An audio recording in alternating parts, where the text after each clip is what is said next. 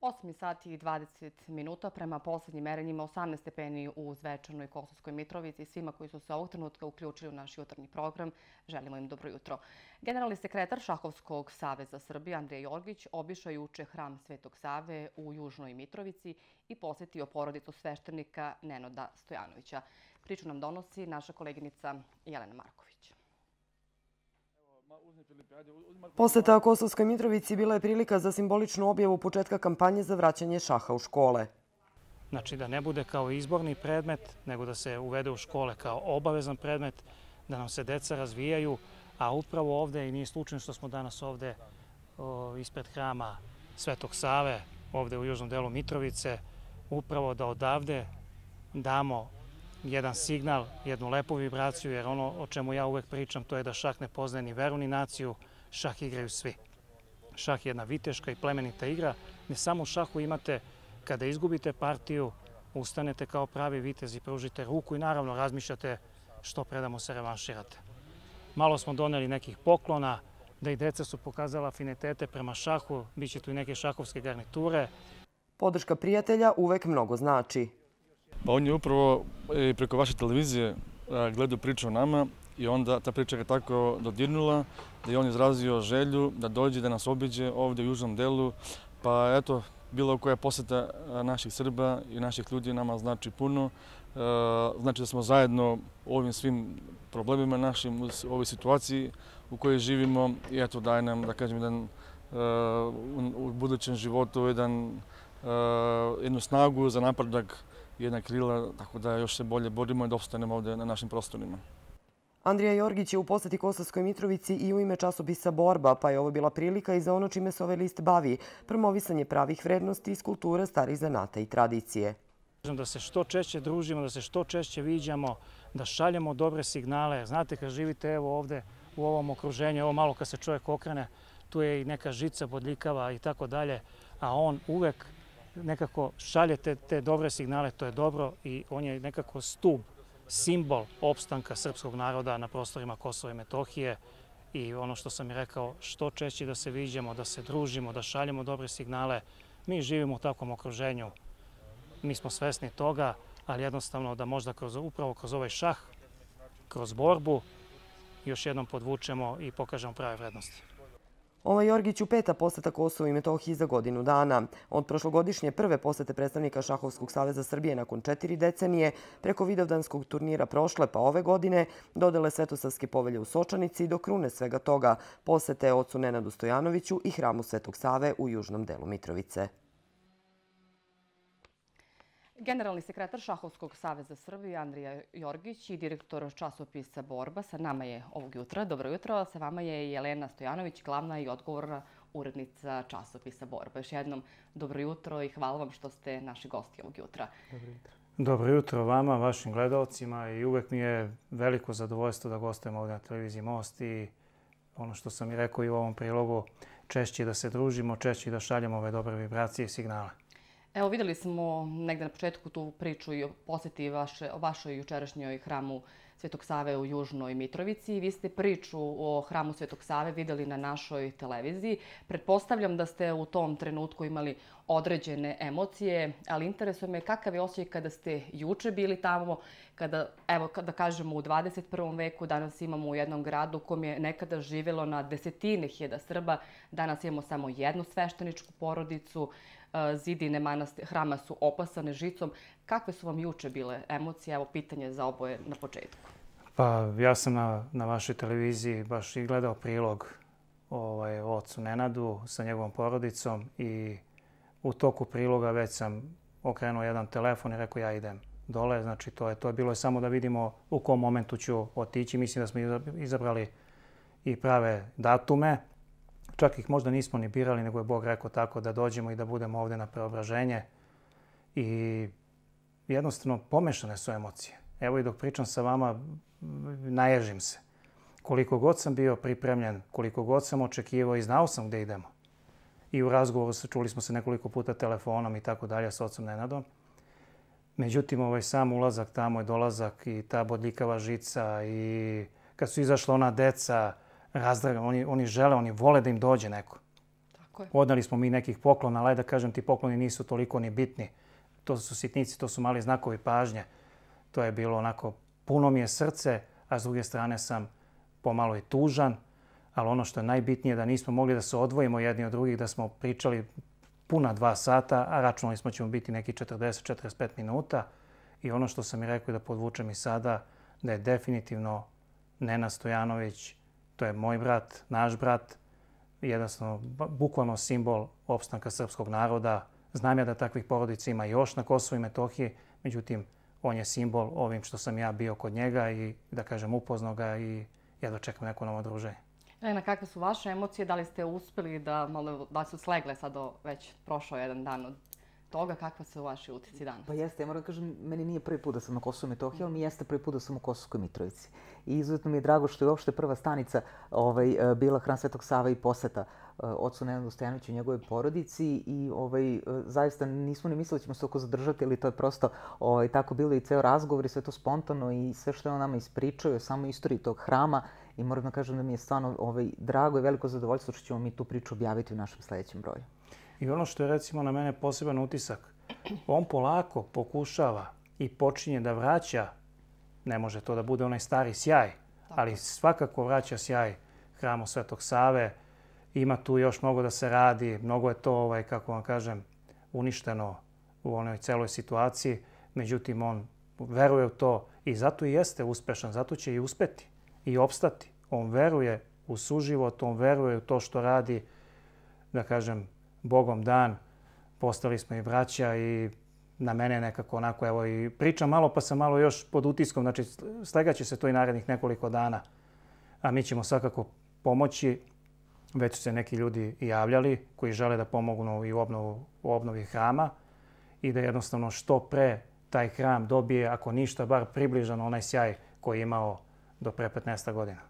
S obzirom evo da niste prvi put da nam se često vraćate, negde je jasno da kod vas ne postoji strah kada je u pitanju Kosovo i Metohija, da nemate strah i bojazan da ovde dođete. Jer znamo da mnogi naši građani centralne Srbije kada se pomene Kosovo i Metohija, najčešće sliku stvaraju e, na osnovu ogoga što su u prilici da vide u, na vestima, u medijima. Najčešća im je asocijacija barikade, nemiri i mnogi Uh, verujte mi, plaše se da dođe ovde. Kod vas prepostavljam da ni prvo puta nije postao taj strah pa strah ne postoji. Dolazite među svoj narod, da kažem, u, svoj, u svojoj ste zemlji. I ono što je najbitnije, e, to jeste asocijacija što ste vi spomenuli. Međutim, mnogo ovdje ima i kulturnih dešavanja, kulturnih događaja, svakodnevno. Čak ne znam da stižete sve i da ispratite koliko toga ima na dnevnom nivou.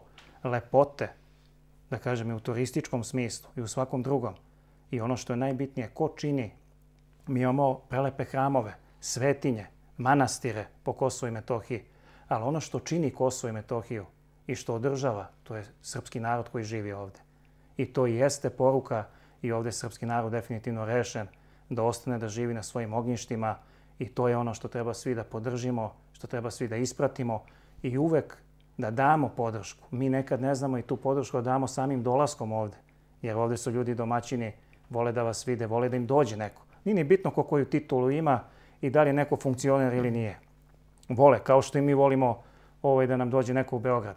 Znači, treba ono što sam i rekao, to je bukvalno poruka, češće da se viđemo, češće da se družimo, možda kroz taj kulturni deo i ovo što ja pričam kroz ovaj šah, jer je nama simbol juče počela je bukvalno kampanja za vraćanje šaha u škole, da bude obavezan predmet, da nam se deca pravilno razvijaju, da razvijaju vijuge.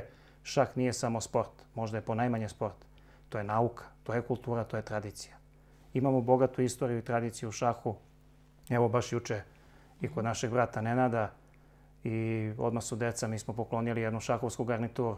Od svega onoga što smo doneli, da ne nabraja, nije ni bitno što smo oni su, najviše mi je prijelo, najviše su oduševili, oduševili šahovskom garnituru. Jeste im obećali da će da ih naučite da igraju šah? Uh, jedan, jedan od njih, Aha. onaj, da kažem, srednji igra šah, igra šah i dobio je zadatak da on malo svoje braći pokaže ovaj neke, neke finese, a onda ćemo i prijaviti na neki turnir. Doćemo, družit ćemo se ovde, Bože zdravlja, i do godine za vidovdanski turnir, da to napravimo i masovnije, da još više afirmišemo i ono što je najbitnije da pošaljemo uvek poruku koju šaljemo. Uh mhm. -huh. Šahovska poruka jeste. Šah ne poznaje ni veru ni naciju, šah igraju svi. Šah je viteška igra I samo u šahu imate, kad izgubite partiju kao pravi vitez, nije vam sve jedno, ali ustanete i pružite ruku protivniku i razmišljate da mu se revanširate. Vama je cilj da šah vratite u škole, ali da to ne bude kao izbor, nego da bude obavezni predmet, što da je jako bude, važno. Tako je, da bude obavezni predmet. Znači, možda bi nešto, ja sam bio pre dva i po meseca u Jermeniji i možda bi taj neki model jermenski, Izraelci isto imaju slično i Gruzija, gde su uveli kao obavezan predmet, znači pored svog jezika, maternjeg, mi srpskog, znači geografije, istorije, imate i šah. I igra se od 7. do 10. godine obavezno. To bi mi kod nas. A to, to, znači, to, to u stvari ne znači da će sutra sva ta deca da se bave šahom. Za ovaj prvi razvoj je vrlo bitan. A mi bi onda od 10. godine, oni koji su pokazali afinitete, koji malo pokazuju bolje rezultate u šahu, odabrali i pravili od njih buduće vele majstore i to je ono da ne razmišljamo o srpskom šahu. A za obrazovanje, gde je najbolje rezultate i pokazalo, rađena su istraživanja, upravo na matematici, fizici i ono ovaj, na čemu treba da poradimo svi zajedno i to je da se deca nadmeću, da se nadmudruju. Ne treba da se tučemo, nego da se nadmudrujemo umno i jednostavno ovaj, to nekad i više boli kad izgubite, ali to su vitezovi, prema tome zastupaću to. Čekamo formiranje nove vlade Srbije, čekamo imenovanje novog ministra prosvete i onda ćemo da sednemo, da podvučemo jednu crtu. Nije to proces koji će trajati mesec, dva, trajaće to malo duže, ali imamo program, imamo plan, znamo ovaj, šta nam je činiti, verujemo ovo što radimo i mi ćemo to izgurati i to je nešto što sutra treba da ostaviti za sebe, a to je upravo šah u školama i da se svi ponosimo time. Vi ste bili e, na Vidovdanskom šahovskom turniru u Zubinom potoku. Sa vašeg stanovišta, evo neki vaš sud, e, imali šah perspektivu na Kosovo i Metohiji? Ne da ima perspektivu, nego stvarno ovde na prostorima Kosova i Metohije mi imamo sedam registrovanih klubova. Naravno, tu su najzaslužniji profesori Aritonović i Moma Adžić, koji je generalni sekretar Šahovskog saveza Kosova i Metohije. I ono čime volim da se pohvalim, mi smo, mi smo pre nepona tri meseca i formirali taj sedmi šahovski klub, to je Goraždevac. 500 stanovnika imaju šahovski klub. Ja svuda gde god gostujem na bilo kojoj televiziji, volim da se pohvalim. To nije futbal i košarka, šah. I vrlo sam ponosan na to. Imaju svoju ligu Kosovo i Metohije, naravno u okviru Šahovskog saveza Srbije. Pored futbala jedino ima šah i to treba svi da se ponosimo time. Naravno, prvo plasirani posle igra ovaj, Superligu Srbije i jednostavno mislim da je šah model i ono što treba da radimo, model opstanka u jednom delu i svi treba da se negde, ajde da kažem, posvetimo tome i više da ga igramo, više da ga širimo. A ono što želim da napomenem, to je da već neko vreme pričamo o formiranju prvog ženskog šakovskog kluba na prostorima Kosova i Metohije. Evo, juče sam vodio neke razgovore, vodit ćemo i danas i mislim da ćemo ga imati, ako ništa, bar do Mitrovdana, pa na slavu Kosovske Mitrovice, da obelodanimo i taj deo. Je stvarno... Znatno je manje žena kada je u šahu, evo, kada je pa pitala Kraljevska igra. Mislim da je u Zubinom potoku samo jedna žena bila Bila je Marija, Marija Perović, jedna zlatna devojka, mm. ali da je pobedila i neke vojnike Hvora koji su bili tamo učestvovali. Naravno, pokazali im je neke poteze. Svako treba da uči od boljeg. Ali ona je isto sinonim nečega što treba da se desi. I drugo, ovo je godina, 2022. je godina žena u šahu. Znači, FIDE je proglasila ovaj, to ženskim šahom. I tu bi svi trebali da damo nešto, jer jedva 10% žena je zastupljeno u svetskom šahu. A mi želimo da te brojke malo popravimo da u Srbiji igra bar 20%. Jer naše žene, naše dame, gospođe, one nisu samo lepe i zgodne. Hoćemo da pokažemo da su one pre svega pametne. I mi imamo taj jedan nepresušan izvor, jer negde do 14. 15. 16. godine igraju fenomenalno, čak... Ostvaruju vrhunske rezultate u svim tako sportovima čak u open konkurenciji da zadaju i domaće zadatke i muškim ovaj, reprezentativcima i tako dalje. Međutim, onda se negde opredele posvete se više školi, stvaranju porodici. Tu se negde u tim godinama malo negde izgube. Međutim, ovaj, želimo da motivišemo i bit, najbitnije je kad napravite ambijent, da ih se što više prijavi. Ako ih imamo što više, ovo bi bila baza u školama. Naravno da će i masovnost da bude bolja i iz masovnosti dobijati kvalitet. Vi se kroz Šahovski savez zalažete za očuvanje pravi, pravih vrednosti, ali to isto radite i kroz borbu, časopis o kulturi. Pa Elena, ajde da na početku kratko kažemo šta nas to danas očekuje u današnjem izdanju. Ja moram da kažem da je ovo mali jubilej, ovo je 30. broj Ovaj, e, do sada je izašao baš 19. nekako, svakog 19. u mesecu izlazi Eto, borba. opet simbolike. Jeste. Ovaj, mi smo čak i malo ranije to odštampali kako bi imali da, da i donesemo i ovde ovaj, kada dođemo. Za one koji ne znaju borba u redizajneranom izdanju, ovaj, nakon godina neizlažanja, već više od dve godine, znači isključivo zastupljene teme, kako mi molimo kažemo, one koje život znače. To su upravo kultura, tradicija, istorija, obrazovanje, ekologija, stari zanati i ono što je karakteristično za našu redakciju jeste da većinom čine mladi ljudi, studenti koji pišu za naš časopis, a svakako i ono što mi uvek volimo to je da i predstavljamo mlade ljude u našem časopisu. Tako je, dok sam prelistavala ovaj časopis, ovo, ovo izdanje, ovaj broj, uh, možete da najdete sve na mlade ljude koji su autori tekstova različitih o kulturi. Jeste, jeste. To su na neki način njihovi predlozi, njihove ideje i njihovo to, da kažem, neko istraživačko novinarstvo koje ja uvek volim ovaj, da im kažem da se time bave. Uh, u, eto da kažem, o mesečnom broju, tu je intervju sa Dejanom Jelačom, glumcem, autorom i voditeljem koji svoju karijeru gradi uspešno u Americi.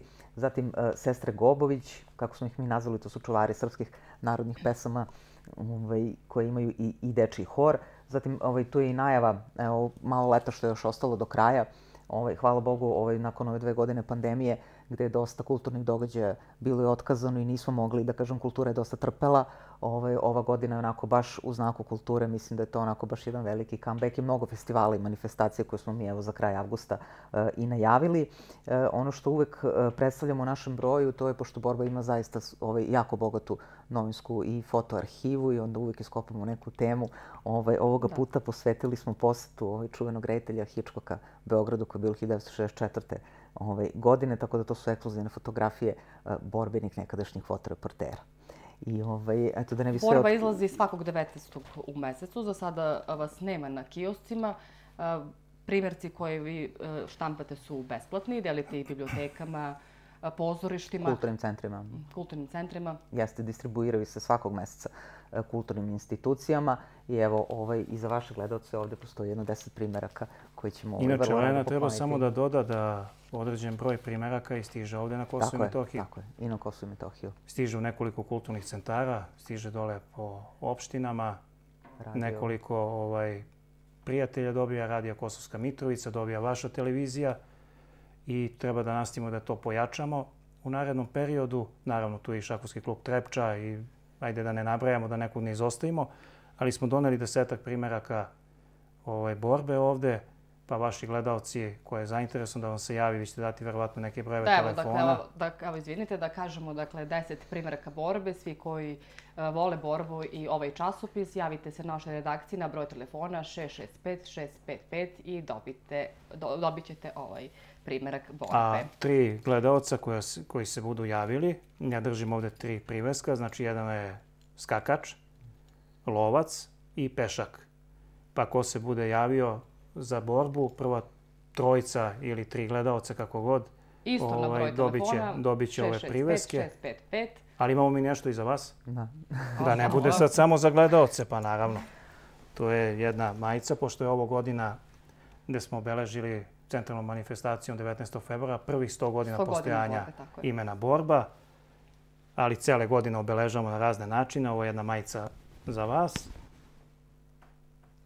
Najlepše ja, vam hvala. Evo koristim priliku da, da vam Najlepše uručim. vam hvala na ovom poklonu. Evo i možemo da kažemo borba, koliko je važno da budemo borbeni i koliko nam to može pomoći da istrajemo u ovim teškim vremenima. Pa definitivno, ime vas obavezuje da budete borbeni, treba da budemo borbeni, da budemo racionalni, da znamo gde smo, šta smo, mi znamo ko smo i jednostavno borba je u svim sferama života. Definitivno ono što, što kaže život je borba, pogotovo na Kosovo i Metohiji i neka i ovo bude jedna simbolika i za opstanak i naravno za naša češ, češ, češća viđenja. E, moramo da se borimo i za kulturu i za sve ono što su prave vrednosti. Evo, pre smo Elena rekli da za borbu da nas pišu neki mladi ljudi. Kada se govori o mladim ljudima, često se stiče ponekad utisak da su oni pravi, oni koji imaju zaista šta da kažu nekako tihi u poslednje vreme, dok su mnogo glasni, oni, nažalost, koji promovišu neke druge vrednosti. Ima li onda nada, kada, pretpostavljam, s obzirom da ste okruženi tim mladim ljudima koji se zaista bave očuvanjem pravih vrednosti, vi verujete da, pretpostavljam, i postoji nada, ali kakvi su ti neki vaši osjećaji kada je u pitanju kultura i mladi? Pa, e, kulturu svakako, svakako mislim, treba, treba sačuvati. Ono što nastojimo mi ili ja kao urednik koja sarađujem ovaj, sa njima i nekako pokušavam da kažem i da im e, prenesem i to neko iskustvo i uopšte, dakle, kada, kada su ove teme u pitanju, nažalost, ovih tema, uopšte kada je kultura, tradicija, isto u pitanju stvarno manjka, pogotovo u današnjim štampanim medijima i, i printu. Ovaj, tako da ja se radujem što, što oni ovaj, na neki način, mislim, sad ne mogu da kažem i slušaju me, ovaj, e, ali onako da kažem naša mala redakcija, dakle ne, ne, nema njih ovaj, mnogo. I ono što mi je drago jeste da oni zaista stižu, iako i studiraju, ovaj, ali zaista stižu i da rade i direktor to vode kaže i da izađu, ovaj, nađu, nađu oni vremena za, za sve.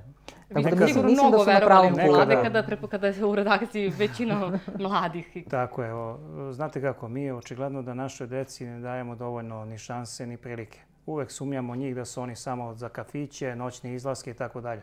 Stigne ova naša ekipa. Izlaze skoro svako večer. I neki izlaze. Ali stignu da odrade i svoje zadatke i da budu uspešni studenti, što je na prvo mesto. Ja sam ponosan na njih.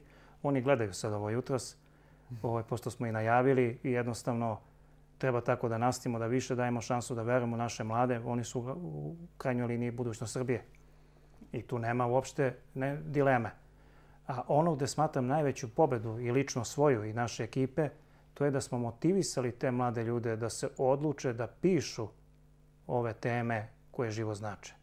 Teme iz kulture, tradicije, starih zanata, obrazovanja. Znači, sve one teme čime je ova naša Srbija prebogata i prelepa i to je negde naša pobeda i, kako da kažem, Nastavit ćemo. Čekam, čekam nove izazove, bit će tu još mnogo iznenađenja, završamo i digitalizaciju, bit će nekih izložbi povodom 100 godina borbe i želeo bih samo da još napomenem, sad smo pričali, ja volim da kažem u backstage-u, pa da informacije odavde da nam bolje stižu i preciznije stižu, pogotovo ove kulturne manifestacije, pa će i vaša televizija u narednom periodu da nam dostavlja određene materijale koje ćemo mi objavljivati u časopisu Borba i to je ono što sam i rekao da svi zajedno uživamo, da svi zajedno prenosimo to, da bude više toga, naravno da znamo mi gde živimo i u kom smo okruženju, ali da se bavimo mi ovim pravim vrednostima, kao što ste rekli.